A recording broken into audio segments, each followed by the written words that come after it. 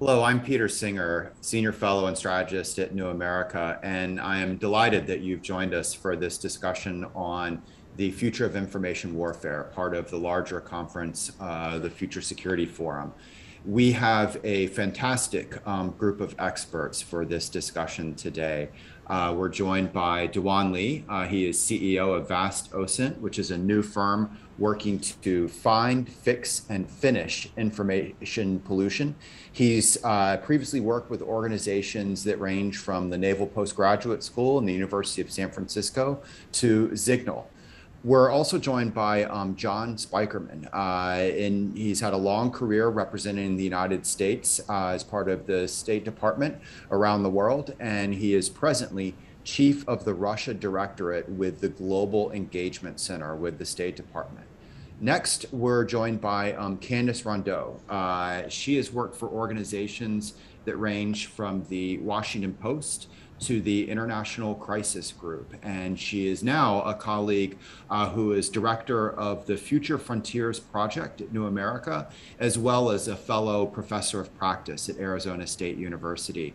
And um, finally, uh, we're joined by um, Mike McConnell. He is a former vice admiral in the United States Navy. And during his distinguished career, he served in roles that range from director of the National Security Agency to the U.S. Director of National Intelligence. And presently, he is executive director of Cyber Florida, which he'll speak to as a program that provides cybersecurity education um, in support of the Florida uh, Department of Education and university system down there.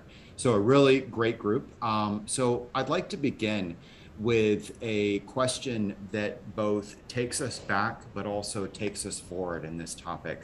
Um, one of the notable aspects of 9 11 20 years back was the shared sense of not just the facts, what happened, but also unity on the problem set, unity in terms of the need to act on terrorism will there be any more such 9-11 moments in a world of social media polarization and conspiracy theory online that is will we be able to come together again around a shared sense of facts and a shared sense of threat uh, so Doowan, why don't you take this question first Thank you, Peter.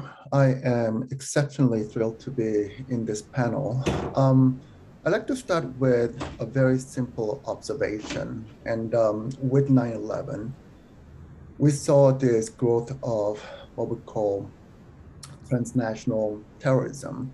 And we used to use the phrase, the democratization of violence, to explain this kind of patterns.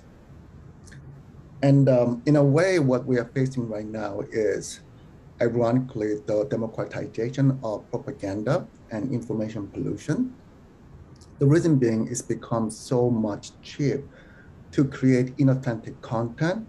And also there is this growing industry that monetizes such content and traffic. To me, this is perhaps the most pernicious threat we are facing at this point. And um, I'm going to start with three additional observations. So I just talked about the democratization of propaganda, but also now we have this normalization of information pollution that is whether it's between groups or between states. What is the most routine aspect of conflict and competition? And I would offer that that is really in the information environment plus cyber domain. Number three is the concentration of what I call data weaponization, and that is the more resources you have, the better you can weaponize this kind of patterns. And this power is so concentrated right now in a few private entities and autocratic regimes. And this is why a lot of liberal democracies are essentially struggling to compete more effectively in this space. And uh, so, so would we see a 9-11 like moment in the information environment? Um, I don't want to be a doomsday guy, but that is what, what keeps me awake at night. And I feel like, you know, there is this evolution of information weaponization. So 10 years ago, you know, 20 years ago we had 9/11. 10 years ago we had the Arab Spring, and this is where information sharing was incredibly empowering, and also enabling certain movements. And I think this made a lot of autocratic regimes really, you know, they become really afraid of this potentiality. And what happened was, hey, we need to recognize the same techniques, the same data to preserve our political monopoly. And unwittingly, this created a highly diversified and also highly distributed echo, you know, set of echo chambers, right? Now, think about the first wave, think about the second wave, what we call the backsliding of democracy, and imagine those two waves essentially leading to a 9-11 like moment in the information environment and essentially transitioning to the physical world, like the way we've seen in 2010 and 11. I think that's what I'm afraid of the most at this point. And with that, I'll pass it back to you, Peter. Thank you. How about you, John? What are your thoughts on this?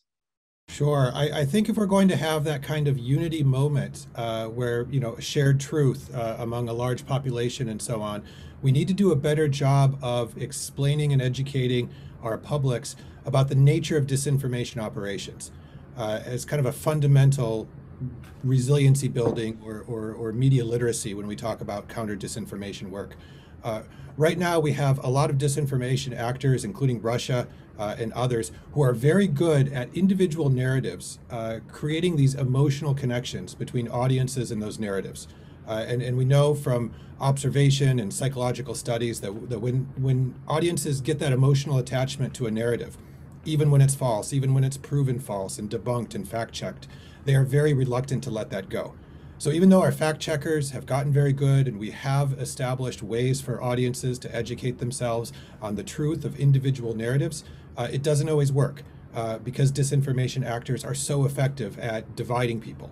Uh, and a lot of their operations are designed and intended to sow confusion and sow distrust and, and um, trigger emotionally uh, societies on specific issues that, that spark those emotional reactions.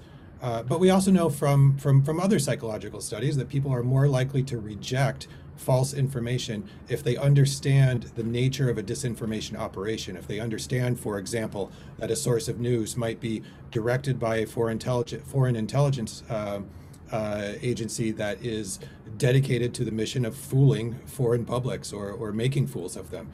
If, if people can better understand that, they're more likely to reject bad information. They're more likely to uh, or I should say, less likely to to absorb and connect with disinformation. Uh, and then through that process, you have a better chance of having a shared truth or or shared set of facts if people understand that some of those uh, alleged facts are part of disinformation operations to fool them. Uh, but so far, we're only beginning in this area. Uh, and if we look to the future, uh, we have a lot of work to do there to to expose and explain the the, the nature of disinformation operations, not just the the the the uh, falseness or, or or truth of, of individual narratives or facts. Candace, one of the things that is interesting I find about your work is that you've touched on topics that range from um, far right extremism to, as John was referencing, Russian information operations. So, with that kind of um, insight, what are your thoughts on whether we might see a similar moment of coming together? And, and maybe an add on is how would you project that groups like that would operate against such an event? Yeah, really good question. I mean, at Future Frontlines, a lot of our work does focus on um, trying to understand the mechanics of information warfare and trying to expose those mechanics so that people can understand how influence works, right? How how um, different actors, whether they're states or individuals who work for states or have some sort of tenuous connection to them, influence um, the way people think about a lot of the complex problems that we have today. And I think the way, you know, to answer the question, um, you know, very quickly, quick answer will we have another moment like 9-11 where we have a shared sense of uh, facts and truth i think the answer is no um, i think we already we have the answer in in the form of the january 6th uh, breach at the Capitol and kind of reinterpretation uh, of facts by you know various members of our political class as well as those who were there.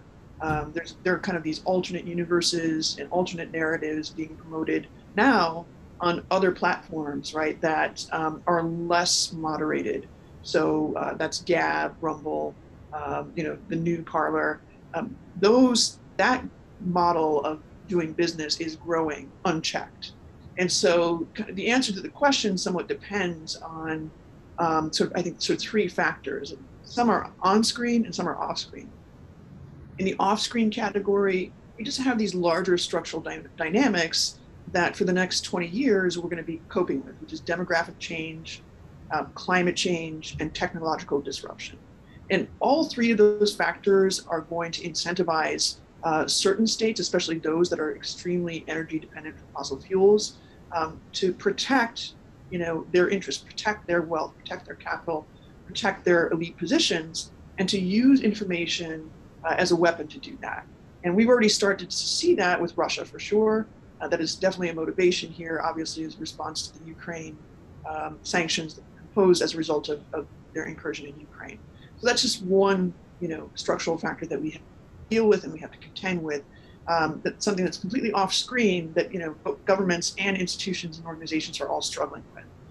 On screen, um, as I mentioned, we have this fundamental challenge of um, a an industry model, you know, that is predicated on the idea um, that privacy doesn't matter, uh, that in fact, um, you know, individuals are a surface unto themselves, communities are a surface to be exploited unto themselves.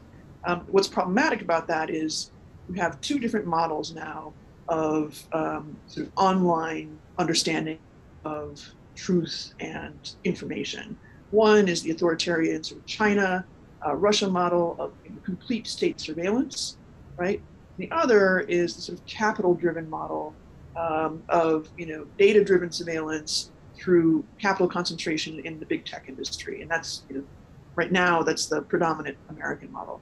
There is a middle way that Europe, I think, is trying to kind of explore um, with its protections for privacy, but it's not there yet. It hasn't matured. So these three kind of competing models, um, unfortunately, there's no one government that has really gotten to grips with the scale of what's needed there in terms of regulation uh, and pushback and kind of containing um, the overreach, either of governments or, or technologists. Um, and, you know, more importantly, while we talk a lot about media literacy and, and sort of uh, a general understanding of you know how disinformation works, very important. But the reality is, um, the model is such that if you're a YouTube influencer, whether you're a micro influencer or a big influencer, you're making money and um, there's real, you know, sort of monetary value in spreading disinformation and misinformation. And there's also social value. There's social cachet for people. Until we change those incentives, I think it's going to be really difficult to have a sort of shared sense of reality. Thank you. Admiral, what are your thoughts on this? Well, I think uh, if you look back in our history, usually uh, some event that brought us together was physical. Um, uh, the attack on the Lusitania in World War One, the Pearl Harbor attack, 9/11. Um, I think it's an entirely new dimension in the information age. I agree with um, much of what the, the other panelists have said. um, I, I, believe, from my perspective, uh, sitting in a in an educational institution focused on uh, cybersecurity education and research and so on, that education is the answer. Um, I'm an older guy. Um, there was no mention of communications or technology when I was in secondary school. Uh, I came to learn about it through uh, 30 years in the Navy when I had to deliver information, sensitive, time sensitive information to ships at sea. So I, I gained an understanding of the process it wasn't until I went to be the director of the National Security Agency that I was faced with the issue of um, how it looks in the future and how you would develop a, a, signals intelligence capability to protect the nation and so on.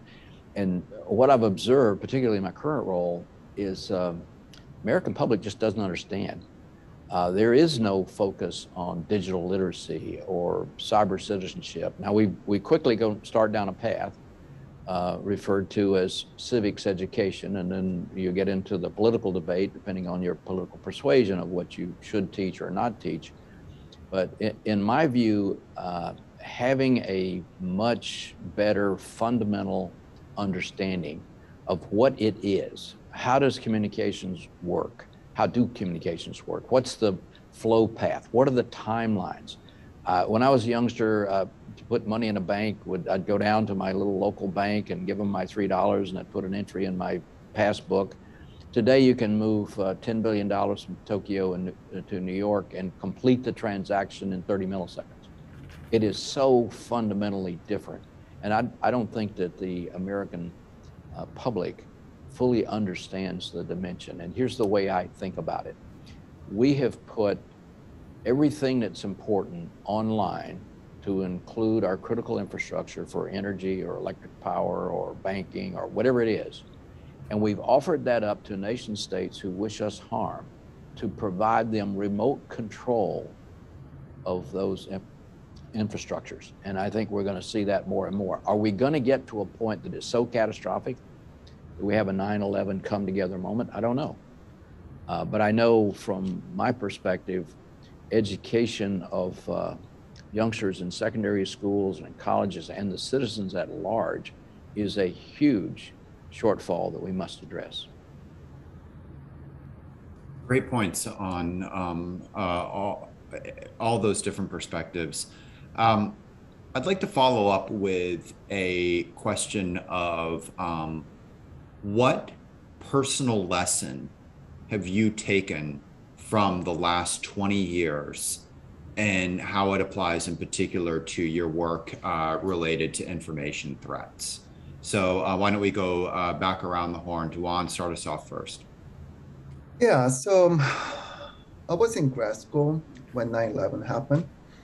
And um, my training was in quantitative modeling and political movements. And I was very fortunate to get my first teaching job at a government institution.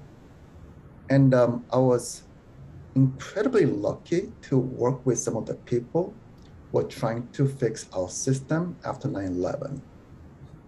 And I remember two large conversations. One was that I'm pretty sure everyone is familiar with this concept of fusion cells. So after the 9/11 Commission, we had to essentially decentralize information sharing and intelligence sharing. And we set up a large number of fusion cells that were coordinating the federal government with state authorities, local authorities, between DIC and law enforcement, DOD, and whatnot. And McChrystal, you know, I, I did work for him on numerous locations. He was essentially one of the pioneers of actualizing this model downrange. And to me, we are facing a more scalable threat in the information environment where we don't have this connective tissue both laterally and vertically. For example, think about disinformation. Um, I think the federal government is doing, made a lot of progress, right? But in the last election, I was trying to support different state governments and local election monitoring groups and whatnot. They are poorly resourced, poorly organized to combat disinformation that was undermining our election integrity. So I feel like you know we are approaching the same inflection point, and that is, unless we build this connective tissue both laterally and vertically, I don't think we'll be able to fight effectively against this highly scalable and pernicious threat factor at this point. And let me give you some data points to appreciate why this is so critical for us to reorganize how we respond in the information environment.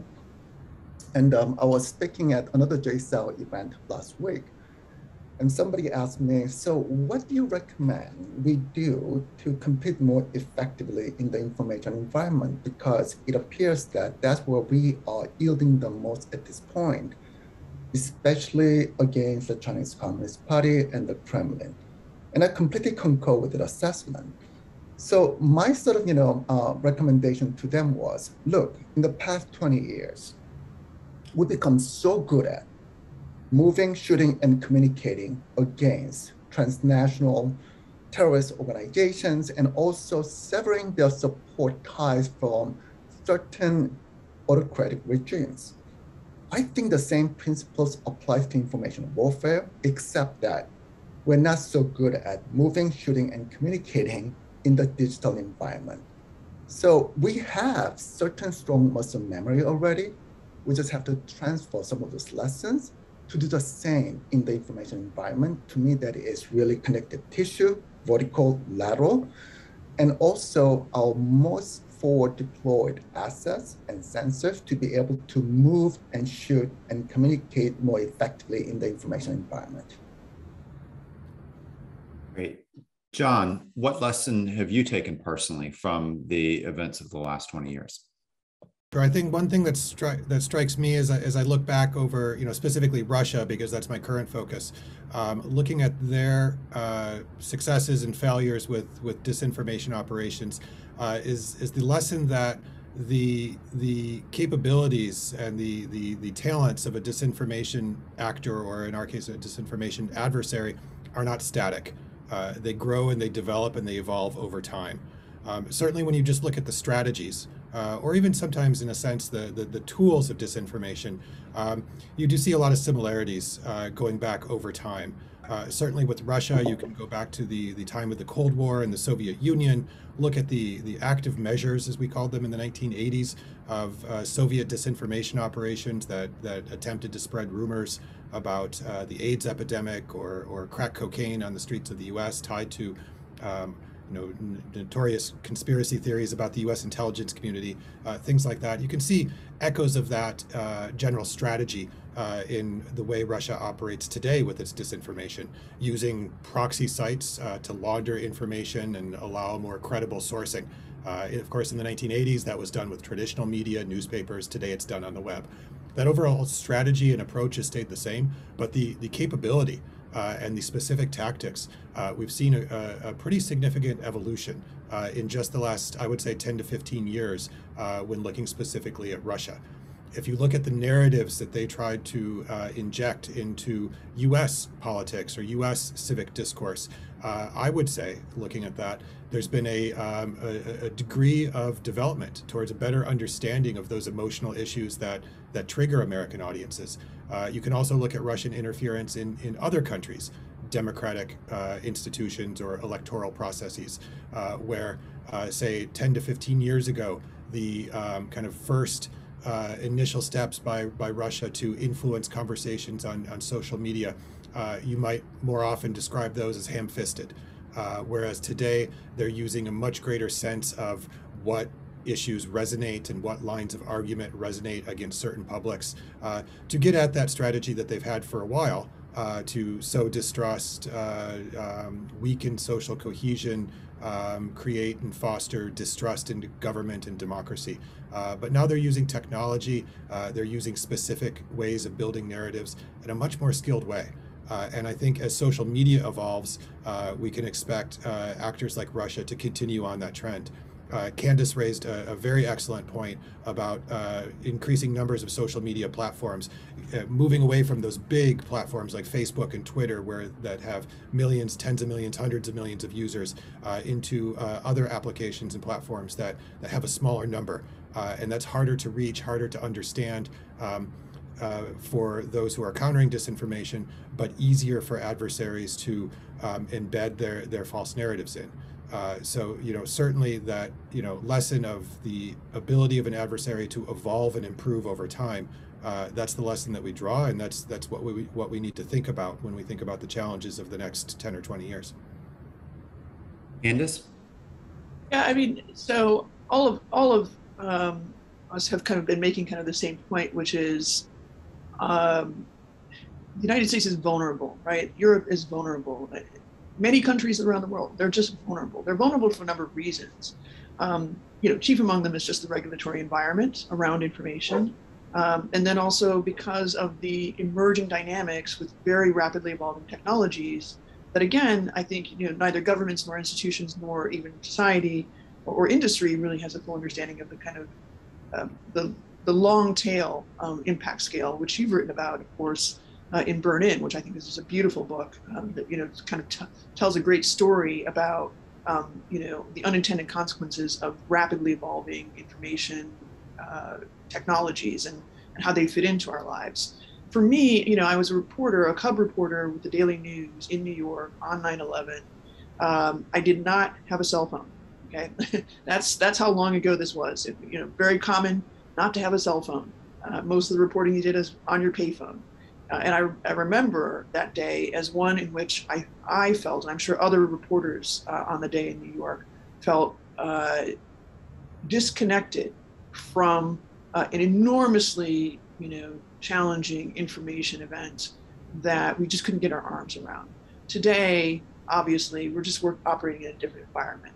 And I think one of my key lessons is um, you have to expect that some of these technology technology changes, even though people are sort of downgrading the role of legacy media, legacy media is always going to be there. Legacy media is always going to be part of the information sphere. And so the question is, does legacy media catch up with the story of reporting on information warfare? Um, and I think you know that's one of the reasons why we kind of began our program is to help um, people understand that you know this is this is literally a war uh, that does have that has no front and it has to be reported on in that way. It has to be tackled in that way. Um, so the big lesson is, I think, you know, that we also don't know what we don't know. That is to say, um, there are growing synergies between the way states like China and Russia, and then other very powerful political elites are beginning to leverage information to their advantage. And we already, you know, we've seen that in the last year, certainly over this, you know, 2020 election period. You could almost call it like sort of like um, those who kind of were in junior high in, in, uh, in 2016 have now graduated high school, and now we're going to kind of get onto university level in terms of leveraging that attack surface.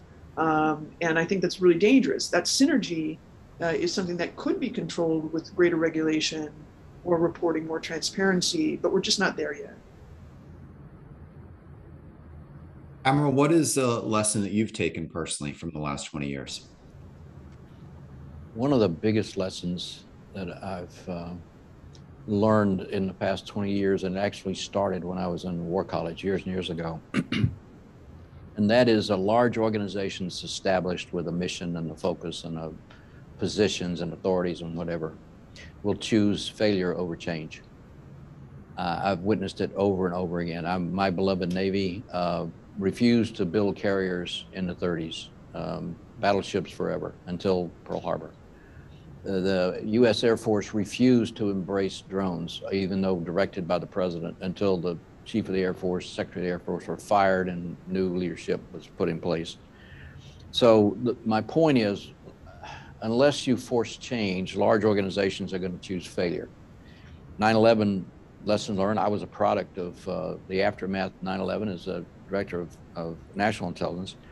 And uh, what they said was a lack of willingness to share information, which was true. Um, it, there was no incentive. The, the community was taught need to know. Came out of uh, breaking Nazi Germany code in World War II and the Japanese code on the other side of the world. Uh, need to know, protect sources, messages. That's the whole ethos and culture of my community. My belief is we have to change that to responsibility to share if there's information that's going to protect U.S. banking or a bridge in Seattle or whatever it is, and you are aware of that, you need to figure out a way to get the information to the people that need it so they can actually do something about it. So the lesson learned for me is uh, don't wait for us to magically find how to deal with this. This is a leadership issue. We have to rethink authorities and roles and missions and uh, partnerships. If we're going to address this issue over time, it has to be a collective defense. We, we know how to do physical defense. We have authorities and resources and, and rules and so on, but this is a borderless problem. And if you're going to solve a problem where someone uh, in another part of the world can touch critical infrastructure in the United States operated by a private sector entity, it's going to take a collective effort between that private sector, others in that sector, and the U.S. government to share information at network speed. So I, I refer to this as collective defense or collective security. It, it must move at network speed. And the only way we're going to get there is leadership. I go back to um, Goldwater Nichols to change the Department of Defense. Department of Defense was studied every year for its history. And when Goldwater was intended on, on forcing jointness, the Secretary of the Army, Navy, uh, in the Air Force, uh, as well as the service chiefs for all four services testified against it. And then we had it passed anyway. The president signed it. We had our first stuff, dust up in the Gulf War. I was the fly on the wall as the intelligence officer for the Joint Chiefs to go to the old office of the Congress and listen to the service chiefs say, Goldwater Nichols is the greatest thing that ever happened. So the department chose failure over change until they had some forcing function to cause them to embrace the necessary change. I think that's where we are on this issue. Whether it's education or outreach or changing authorities or collective defense among the private sector and the public sector, new authorities for intelligence community, all that has to be addressed if we're going to get ahead of this problem. I'm hoping that we do, but I think it will boil down to statesmanship, or maybe a better way to say it's leadership, where we've had crisis in our past. Some leader stepped up to make the case. I heard a speech last night. I went to a uh, Department of Homeland Security conference. One of the speakers was a former congressman that uh, chaired the, the House Permanent Select Committee on Intelligence. He told a story about the post revolutionary period when uh, the officers weren't getting paid and they were speaking of mutiny. They had been successful with the French to drive the British out. They weren't getting paid. They were actually meeting to plan a mutiny. And George Washington went to the meeting and he gave a speech and it turned the tide leadership. So I think this is a critical problem for this country, but we're going to have to do some fundamental things that will go against the established organizational structures and authorities that we have to change. So that's how I think about 9 11 and the lessons that came out of that. And I'm really concerned about information warfare. Can we do this before it's critical? Now, I'm the eternal optimist. I think we can. But if you look at our history, we tend to be reactive, not proactive. So I think it's time for the right leadership to step up. Can I just jump in here, Peter? I just want to sort of tail on uh, what the Admiral was saying just now. I think you know, we, the networked nature of this problem is one um, that I think the United States government in particular is still having trouble getting to grips with. Um, you know, there's a great temptation to create agencies and, you know, new authorities, and, and that's good, that's important. That is part of the leadership, I think, um, that uh, the Admiral was talking about here. At the same time, you know, what has changed about the information environment is anybody can penetrate um, and anybody can kind of use digital tools and techniques to get under the hood of information uh, campaigns and deception campaigns. And that's where I feel like the investment isn't quite meeting the moment, right? I mean, we've had, we actually had a 9 11 like moment in 2016 when Russia attacked essentially our information systems, right? And, and that has continued since 2018, right? And then 2020, we saw it kind of morph into this kind of synergized threat between you know, local political elites and then you know China and Russia uh, working weirdly at cross purposes with each other in terms of what their outcomes or expected outcomes were. But in here, in that little period of you know four or five years, there's also this growing group, a, a social movement um, of citizens who are trying to expose these campaigns, right? Um, researchers, academics, journalists, um, they're much more empowered now because they have access to satellite technology. They're much more empowered now um, because they have access to you know different ways to look digitally under the hood. Um, I think that's where some of the investment needs to go, not just of your typical paradigm leadership, where institutions, leaders, and decision makers are kind of sitting in a silo, but you invest heavily in this area of citizen activism and citizen journalism. It's a great point. Um, another area of underinvestment uh, is something that both John and the Admiral brought up um, in terms of preparing the population, building up resilience through understanding and education. Um, there have been over 450 different uh, think tank, university, task force projects on this topic of information disorder. And almost all of them have focused on um, the actions of the adversary uh, changing the um, rules and regulations uh, either on the government side uh, to limit it and or the companies doing more to police their own networks and yet you know 450 looking that way versus a literal handful looking at how do we help the target of this? How do we build up their own capabilities to be resilient? It's a, it's in my mind it's a massive imbalance. Um, so, as uh, Candace um, very uh, kindly mentioned, I'm someone who um, works in the future and builds uh, stories and scenarios of the future. So, I'd like to ask your help on that. Um, we've looked back 20 years, let's look forward 20 years. What does this space look like in 2041? What is the same? What is different? When it comes to information warfare and information threats. Uh, so let's go uh, back around the horn again, Doowan. Yeah, um, so um, as a recovering DoD academic, um, I'm going to answer your question with something that is completely uh, unrelated first, and then I will address your question. Uh, that's what DoD academics do, right? Um, there is a notion about digital education, cyber citizenship, I think those are really important inoculation uh, strategies that we need to build over time. There is no doubt this is something that we need to pursue. And there are a lot of civil society organizations uh, working on the problem set, and perhaps we can build more connective tissue amongst these civil society organizations, NGOs, and essentially like, you know, social movements. Absolutely. So to me, those are like you know public health strategies.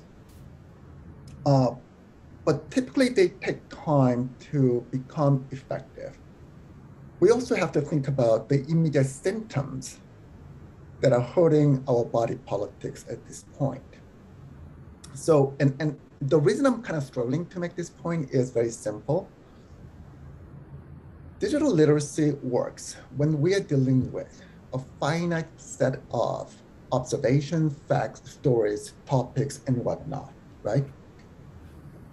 Let me give you a quick data point. In every 60 seconds, Facebook has what, about 200 new posts, right? And the same number of pictures and whatnot. Same goes for Twitter, Instagram, YouTube. The volume of computational propaganda is so massive.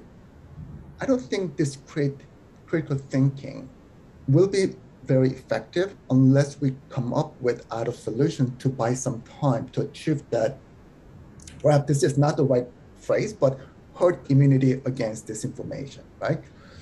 Now, having said that, let me come back to your you know, question. And um, so I, I, like using a lot of abstract nouns. I'm going to use another one here. And that is what we're seeing is essentially the balkanization of the information environment and it's taking place globally, regionally, and locally, right? So echo chambers, everybody's familiar with this concept. So this is happening locally. But if you look at how China is trying to govern the internet, how Iran is trying to govern the internet, the DPRK and the Kremlin, we also see this split net taking place globally at the same time.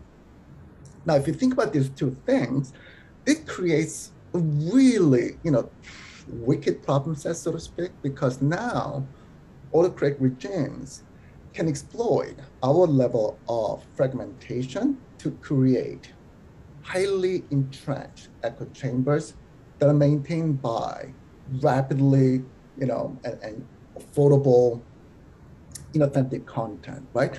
I think this is what you know um, Candace talked about earlier. So smaller fringe platforms, you know, private chat groups, encrypted chat apps and whatnot. So now we have this massive level of fragmentation. And then we have this convergence of threats. what I'm doing with my you know work is essentially trying to expose the infrastructure of what I call information pollution. It's not just disinformation, it's phishing attacks, it's malware, right? And also fraud, like you know, uh, like you know, reading websites that essentially automatically download certain like you know, software on your browser, on your computer, and whatnot. I understand disinformation is all the rage right now, but it's much more comprehensive than just misleading narrative stories and etc. Right? So we tend to focus on the tip of the iceberg, right? But unless we tackle this entire industry of information pollution and attack the basic incentive structure of that industry, right? Because traffic is monetization. So not all malign actors are actually malign. They're just trying to make a buck or two by getting more traffic and more monetization. So to me, unless we really tackle this, you know, submerged portion of this industry, I don't think we'll fare well in this fight. And um, let me give you just a very concrete example, and then I'm going to pass it back to you, Peter. Uh, two months ago, the cybersecurity company Barracuda released a new report, right?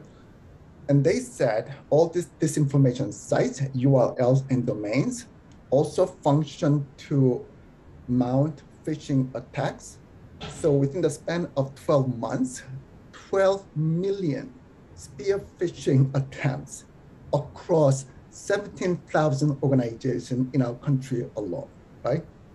So that's what I call the convergence of threat factors, disinformation, cyber attacks, phishing, social engineering, and fraud, right? That's what keeps me awake at night. With that very uplifting thought, back to you, Peter. Thank you.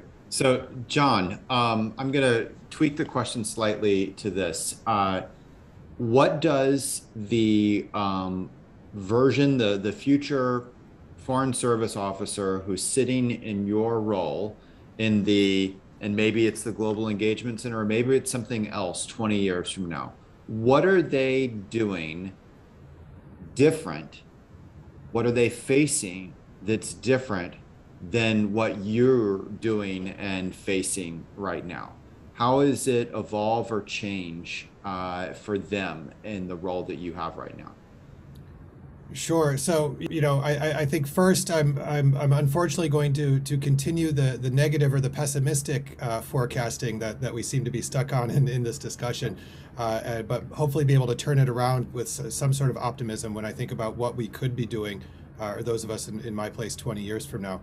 Um, right now, you know, looking about what those challenges might be 20 years from now, we really need to address the issue of overall democratic institution building and, and maintaining. Uh, we are seeing disturbing trends in many of our democracies, uh, backsliding on democratic norms, rise of authoritarianism. Uh, we're seeing in authoritarian or near authoritarian states, uh, democratic opposition opposition groups being being crushed or facing an immense amount of pressure. Uh, and then we look at how disinformation is being used in those environments today. Uh, and you know, I'll point to you know Belarus as, as one example uh, that we're seeing uh, that, we're looking very closely at for for pretty much the last year, the last 12 or 13 months. Uh, we've noticed, you know, the Lukashenko regime has has increased the pressure, increased the threats of violence uh, against media, independent media uh, in that country, has cleaned out state media, replaced it on occasion with, um, you know, so-called journalists from RT and so on. Uh, and the result is, uh, you know, uh, an information environment or a media environment uh, in which none or very little of the local populace believe anything that's coming from a state mouthpiece. Uh, and yet it continues. Uh, and, and, you know, I've asked people, you know, li- living and working inside Belarus, why does that happen?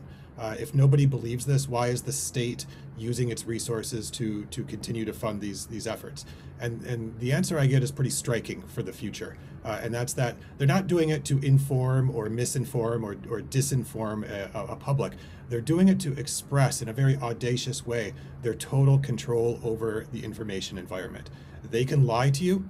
They can use all of the organs of state communication to put out very evident half truths or lies, uh, and there is nothing that you, the, the citizen of that country or the opposition figure in that country can do about it.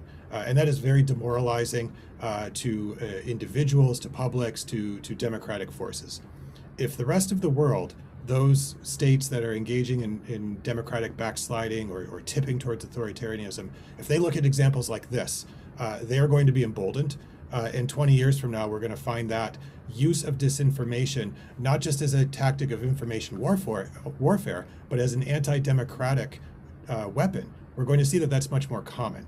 Uh, and I think 20 years from now, uh, the people in my position are going to have to address that more uh, whole of society, whole of government approach to to malign influence uh, or anti-democratic uh, actions of, of, of, adversarial states, not just in a strictly counter disinformation or strict, strictly information operation way.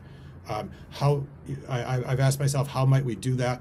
Uh, and you know, I think we've touched on that a little bit in, in some of the earlier questions, uh, and that's better understanding how to get into those authoritarian environments where a, a state that has total control over the um, majority of the media or communications apparatus and, and outlets, um, how can you still get fact-based narratives uh, into the public?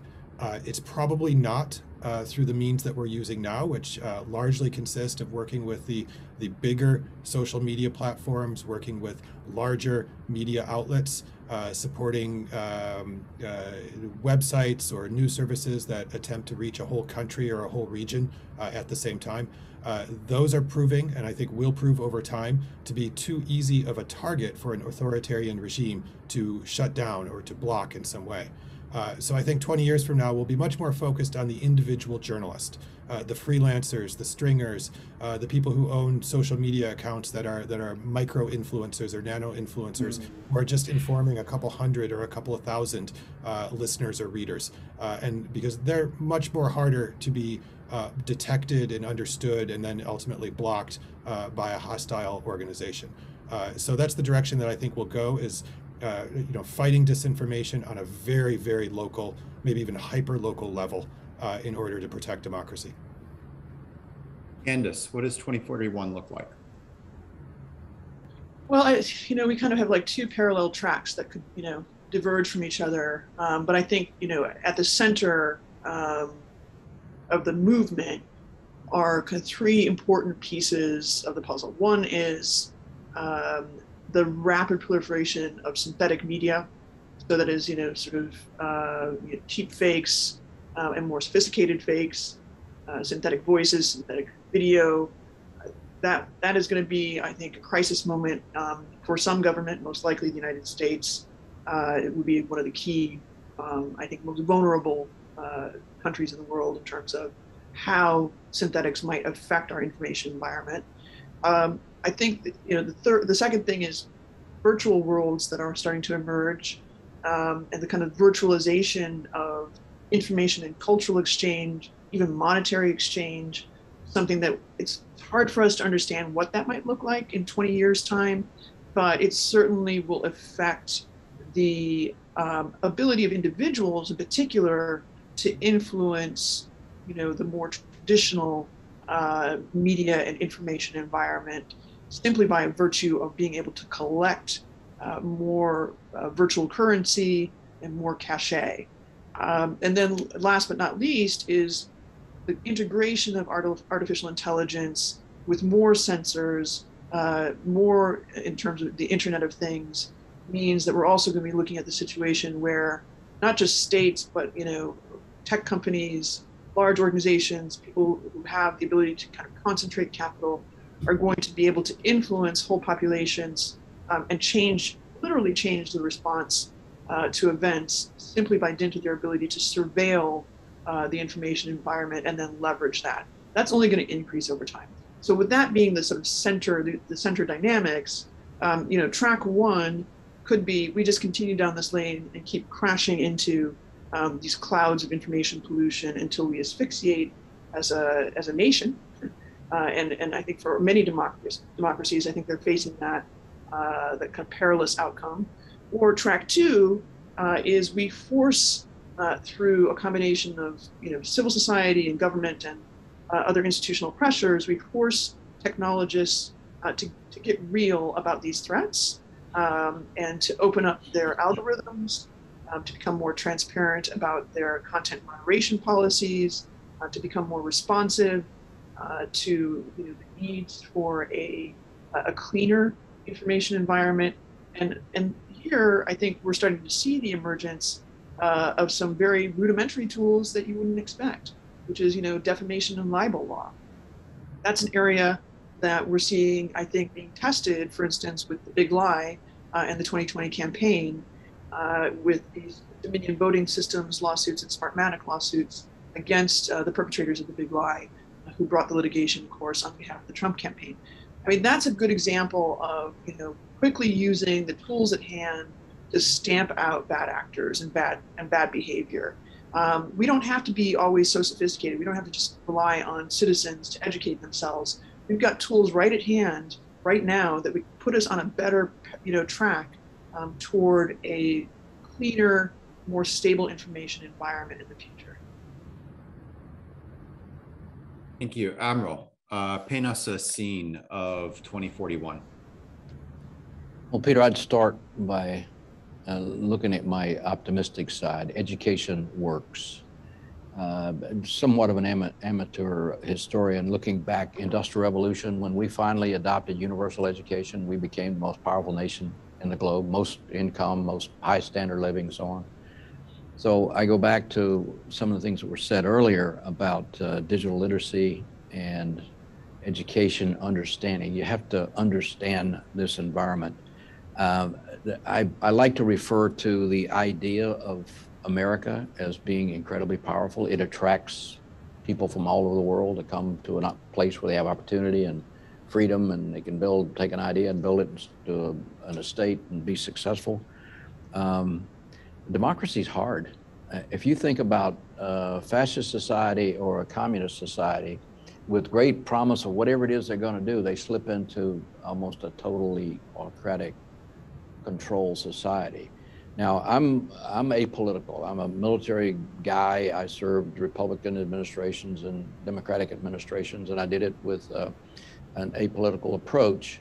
Um, I voted for Republicans and Democrats, and I always tried to maintain that. But now, I am a proponent of cyber citizenship in the little organization I'm associated with, and uh, we want to teach youngsters uh, about digital literacy. Uh, how important is it? How do you sort out uh, truth from untruth or misinformation? How do you protect yourself? How do you operate in that environment? And I, and I think it's a challenge for our citizens to understand that, to be able to, to function. So that's the, that's the part that I worry about. Are we going to be able to prove that democracy still works? The Chinese have a model, the Russians have a model. We've seen some of the countries in Europe slip into more autocratic forms of government, are we going to maintain our leadership to demonstrate to the world that the idea, idea of America is still there, democracy still works, and we can resist these many attacks in the information domain that's going to try to tear at the fabric of that, that idea. So I go back to how I think about this. It's fundamental education starting in grade school and so that means we have to teach the teachers, we have to apply the curriculum for the students, we have to expand that thinking over time, and we can't let it turn into a political debate about teaching civic subjects that's an anathema to one political persuasion or another. This is basic survival for the information age. So that's how I think about it. So on the optimistic side, I think it's clear. I said earlier, it's leadership and it's statesmanship. I, I truly believe that.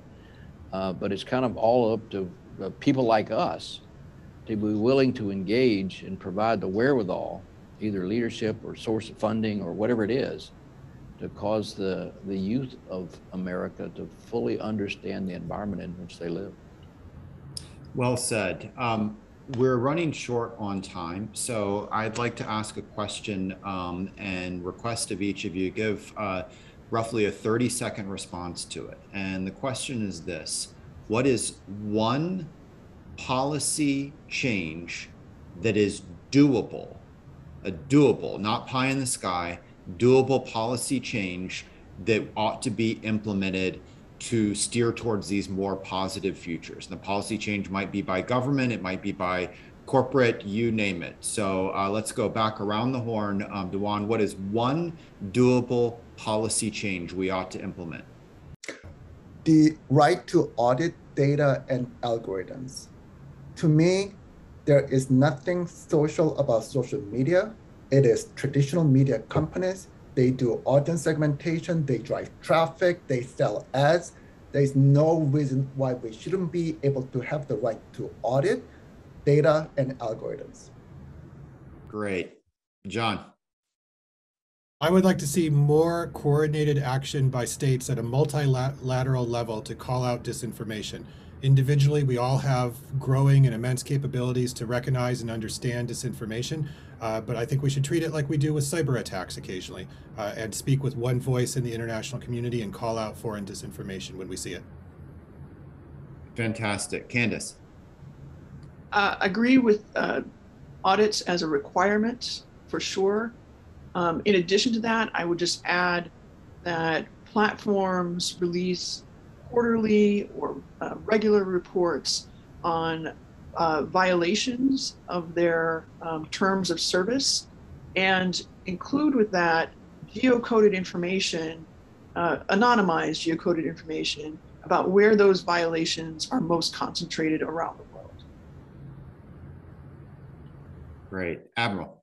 Leadership to guide collective security between the public and the private sector to significantly improve our cyber resilience posture? Well, this is a great way to end with um, these fantastic ideas that uh, hopefully um, can and will be implemented. I want to thank all of you for joining us and participating in this very important conversation. Take care. Thank, Thank you. you.